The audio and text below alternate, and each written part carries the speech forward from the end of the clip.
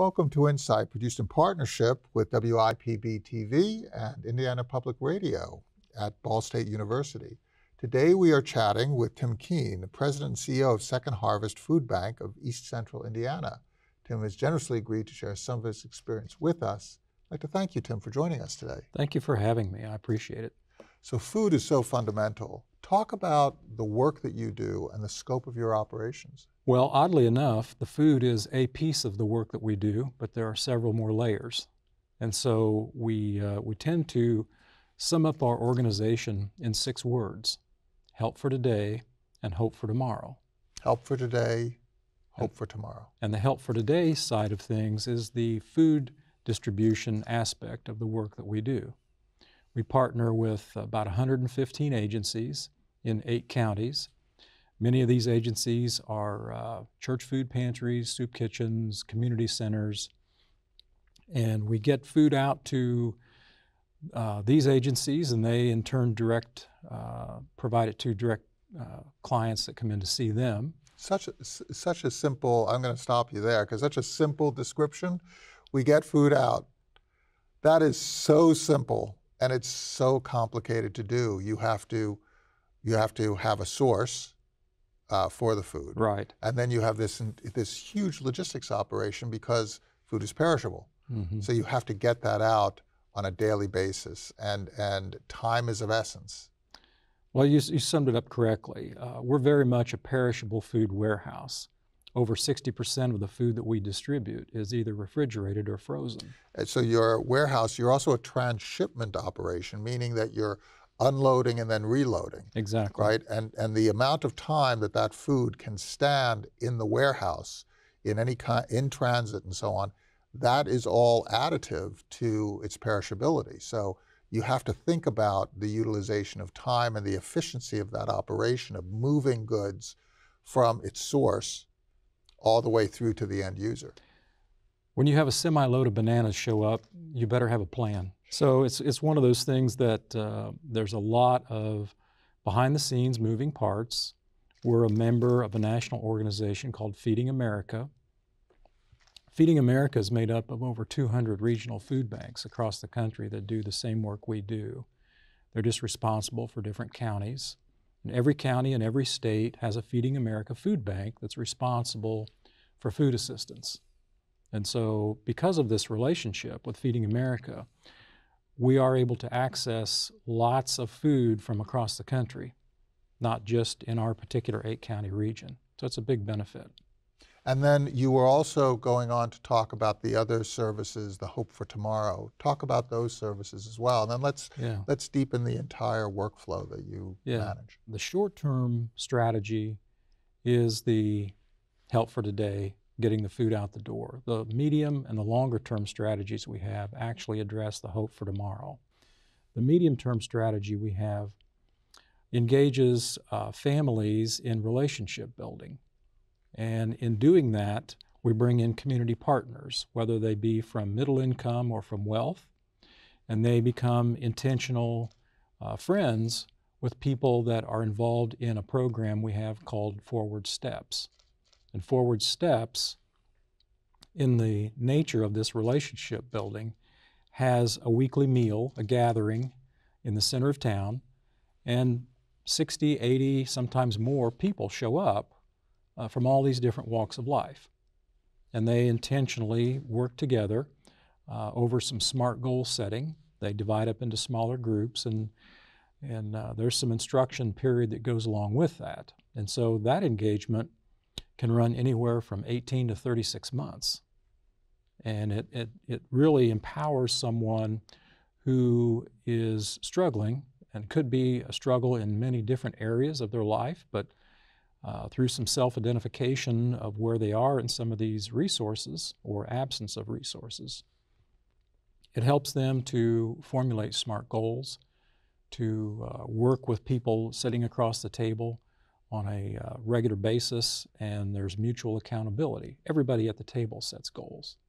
So there's mutual accountability, and there's also a reciprocity component that's introduced to that as well. And you create a a multifaceted approach where you're dealing with immediate need, with very, which very often has an emergency character. Right.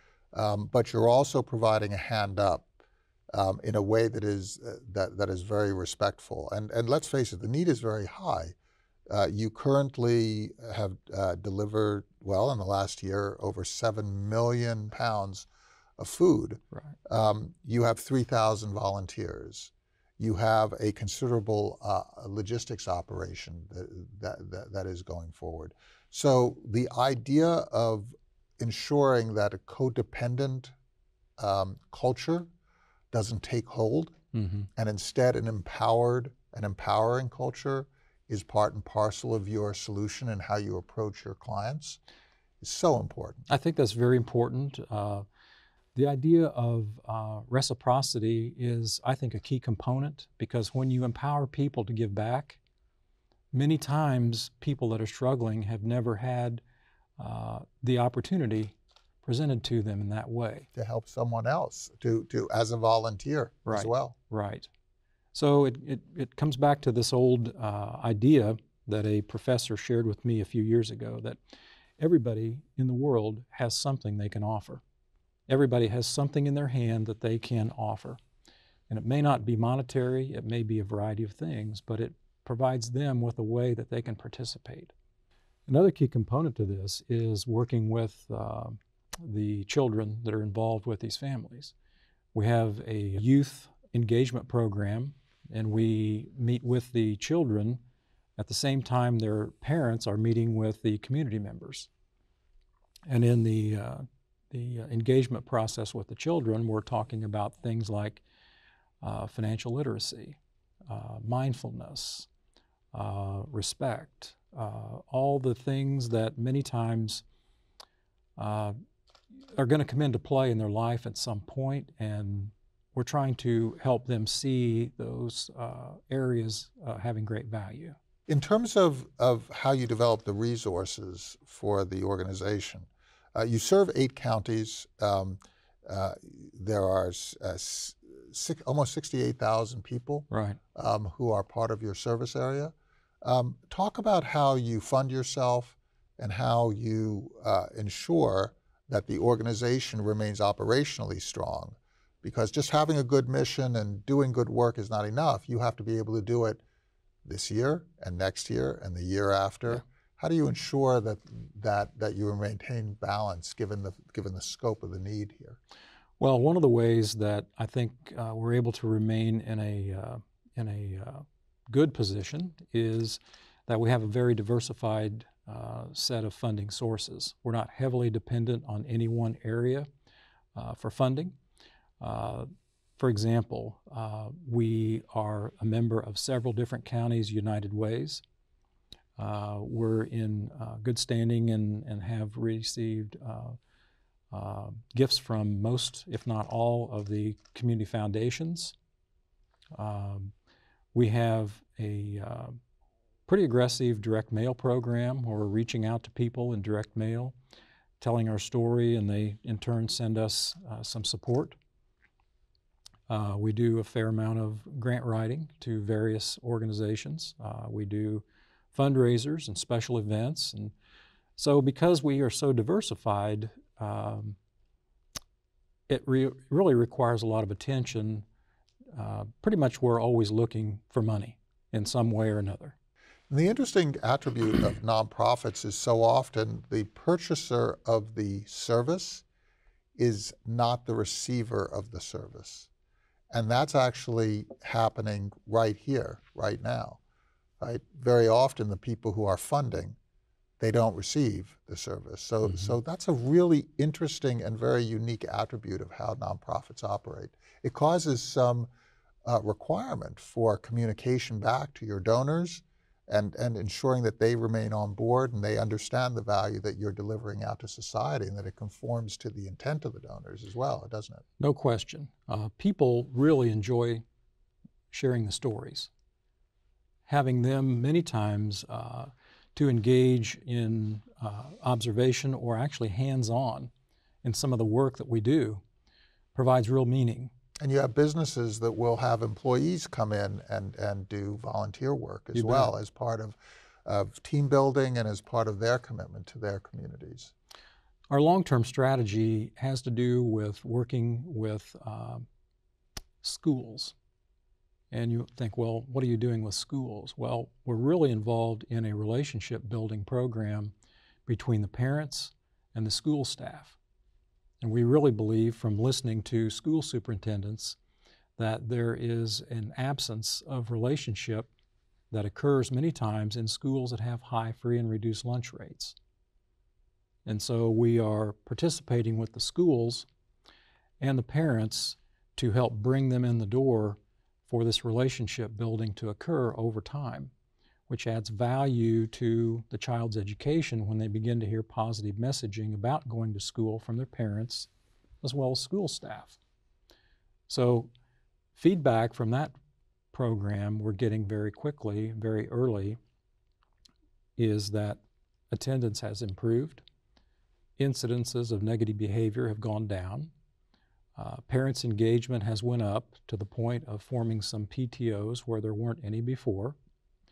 Uh, volunteering for chaperone events and those kinds of things are up. So we're on the right path. And to your point about the donor uh, understanding the impact of what they do, that's really provided us with an opportunity to bring funders to a school to observe, to talk to the teachers, to actually distribute uh, some food to some families, uh, talk to some families. And so when you can provide that immediate feedback to a donor, very impactful.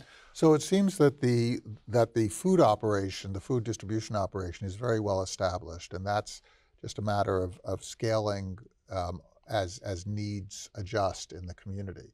Um, it seems that a lot of your efforts for the future, in terms of shaping the organization and its mission and the services and and the various programs that you offer, uh, are really about that hope for the future. Absolutely, it's relationship based. And we believe that that is what it takes to make the significant changes in someone's life uh, to long term shorten the line of need. This is such a wonderful, wonderful approach, very deep thinking in terms of, of the work that you do. Tim Kean, thank you so much for sharing the work of the Second Harvest uh, Food Bank of East Central Indiana. Thank you. Thank you so much for the work that you do for the citizens in these, these eight counties. And thank you so much for your insights. Thank you. I appreciate it. Thank you.